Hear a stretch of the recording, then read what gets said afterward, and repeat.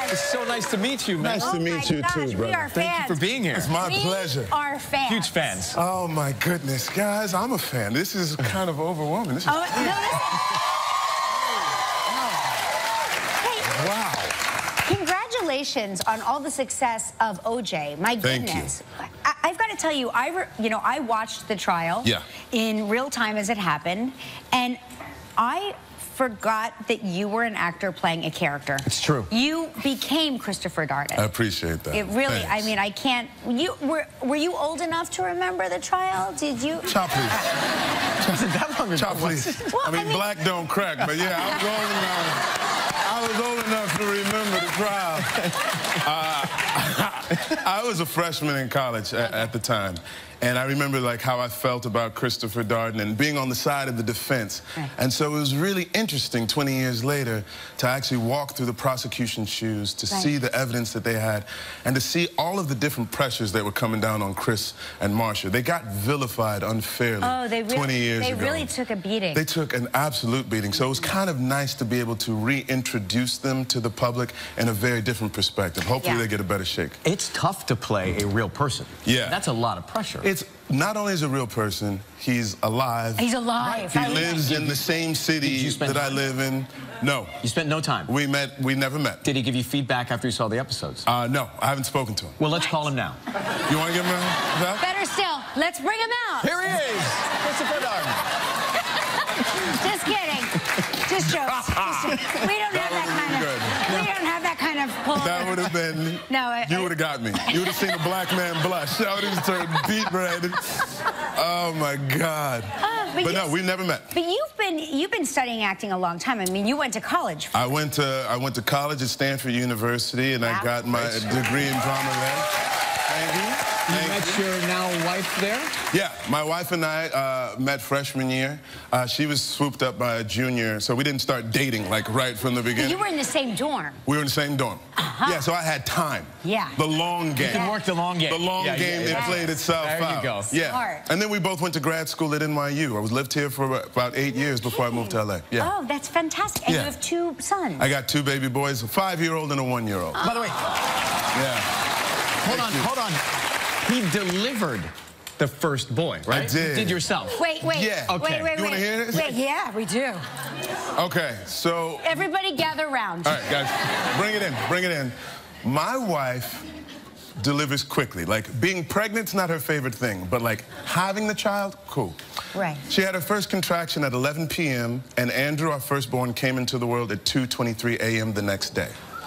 Like okay. three hours, 23 minutes. That's first crazy. child. That's nuts. So everybody says, like, you know, first child is going to take a little bit longer. 24 hours, 48 hours. We're talking to our doula, and she's like, relax, have a glass of wine. It's gonna be a big day tomorrow for you, mommy. right? So she's trying to like take a shower, lay down, and then she's like, I gotta go to the bathroom. Uh. so like that happens like three or four That's times. That's a bad sign. I've seen this on sign. Oprah. And we were so trained. We went to like the birth class and everything, and the, the people told us like even if the, the birth sac or the mucous membrane breaks, that doesn't mean anything. Means So- nothing. So, I would see the membrane. I saw the membrane. Sorry, this is kind of weird. I saw the membrane going down her leg, and I was like, oh yeah, that's your, your plug. insane in You'll the be fine, right? Right. She comes crawling out of the bathroom after a while, and she says, I think I'm crowning. And I'm asleep, kind of. I was like, sweetheart, you can't be crowning. Right. It's your first baby. Just try to relax. I- Like I'm telling this woman, I'm mansplaining what's happening to her body. Right? So she's like, this joker knows nothing. She dials 911 and is trying to get the paramedics, and I'm on the phone with the midwife. And every time like she, I'm about to talk to the midwife, my wife has like her grad school acting contraction, and you just hear, "Ah." I was like, sweetheart, I can't, I can't hear the midwife. Basically, what's happening, she's on all fours. I look down, the baby's head is out. Right. Yeah. Just screeched up. The midwife's like, that's fantastic. Just wait for mommy to push again.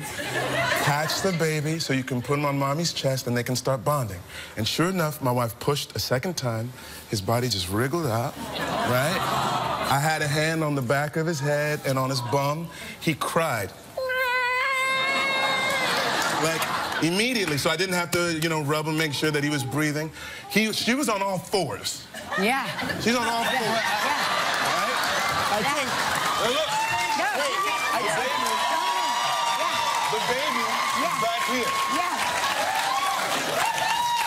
So I have to grab the baby from No, the you don't back. have to. You can stay in that. I can stay here. I grab the baby from the back. Oh, okay, okay. Uh, you get the baby. Yeah, yeah, you got it? Okay. You got You got Just the baby. breathe. Just Then breathe. you have to pass the baby through my legs. Yes, I sure So I do. get him right here. Yeah. I got him. Yeah. Undo the umbilical cord from around his leg, put him on, on mommy's chest, and then within seconds, you know, he's like bobbing around, looking for the breast. By the way, Yeah.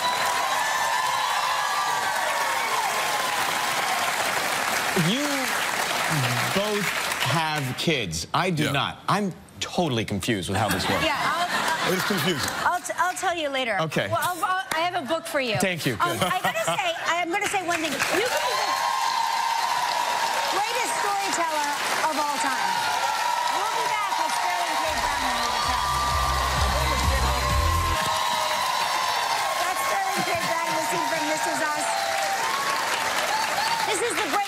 2016. I- Congratulations. Thank you so much. Everybody cries every episode. It, it pulls something out of you. Yeah. It's the kind of show that sort of, whether you want to feel or not, it cracks your heart open and it demands that you feel Mm-hmm. everything. Whether it's joy, whether it's empathy. It's such a beautiful story about a family. You know what I mean? It's very simple. It's complex in its storytelling, but it's really about these 30-somethings trying to figure out life and what to do next. And it's something that everybody can relate to. He plays Randall. It- This is this is a show. My, my radio staff who watches everything Yeah. saw it for the first time, and they were like, "You've got to watch." They're Yes. obsessed, and Really? now so are we, obsessed as well. Because, you know, you read that pilot episode. Yeah. Did you see it coming? You know what I saw? It was written by Dan Fogelman, who wrote this wonderful movie, Crazy Stupid Love. Um, yes, yes. And I knew, reading the script, I said, this is the best network television pilot that I've had the privilege of reading. Yeah. Right? I've, you know, I've seen other things, but I got a chance to read it, and like, this was amazing. And I was still shooting The People versus OJ. And I think I was sitting at the prosecution table while this was like covering all the stuff in the courtroom, and I was talking to Paulson. I was like, Sarah, I think I found something that I would be really proud to be a part of. Wow. And she's like, yeah? And I was like, brother's got to get a job. I don't know what y'all are trying to do. you know what I mean? You, I ain't getting offers like y'all is, so if I can get myself a job, I'm going to do it. So I was just like going over the script, trying to memorize lines, so when I got ready for the audition, I was, it was uh, popping. It Listen, worked if that out. doesn't work out, you could be an amazing midwife. Yes. Thank you.